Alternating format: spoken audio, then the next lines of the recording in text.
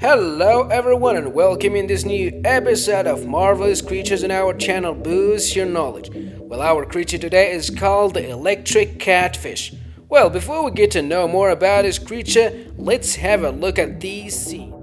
Well, this is another scene of another crocodile shocked by the electric fish.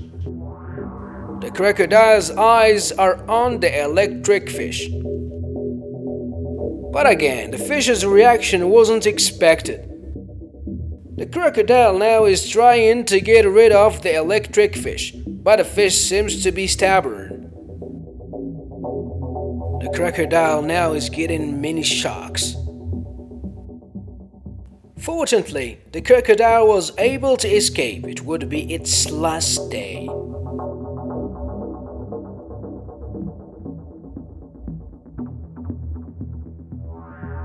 Well, this is another scene of a small electric catfish fighting with a water snake. Even if this electric catfish is small, it was able to escape from the water snake.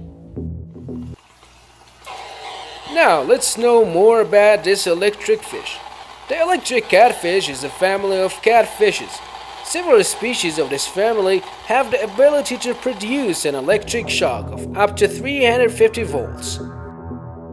The electric catfish are found in tropical Africa and the Nile River. Some species feed primarily on other fish, incapacitating their prey with electric discharges. The other species are feeding on things like invertebrates and fish eggs. The largest can grow to about 1 meter and 20 centimeters long. You have to know that the large electric catfish can stand an adult person. As you can see that electric fish can be used to produce light.